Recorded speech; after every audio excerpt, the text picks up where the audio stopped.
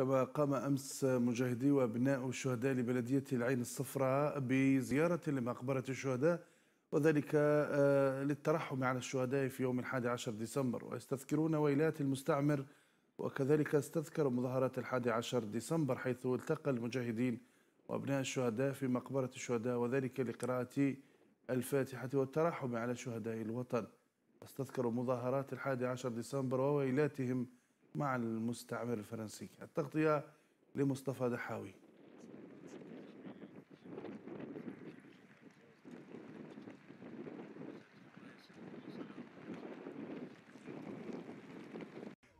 أنا هذا هذا نتوجه للشعب الجزائري وخصوصا الشباب.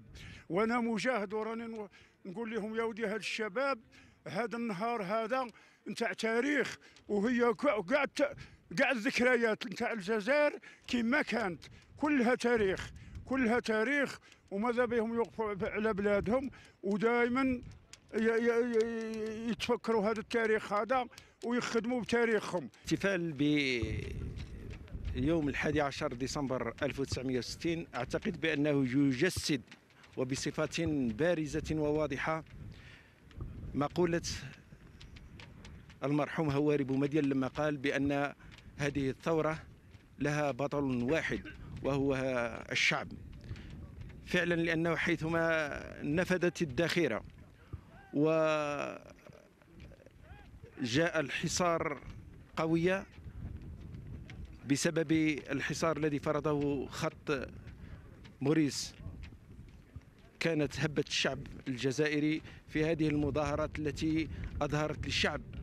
بأنه فعلا هذا شعب يريد الحرية ويريد الانعتاق. اليوم اليوم المبارك اليوم نتاع 11 60 نساخروا به ولا الثورة الجزائرية والشهداء اللي ضحوا اللي ماتوا في هذا اليوم نرحموا عليهم والحمد لله اليوم الجزائر خرجت من معزق الاستعمار ولا وهذا ونفتخروا بالمجاهدين الأولين اللي نوضوا الثورة الجزائرية اول اول أول نوفمبر.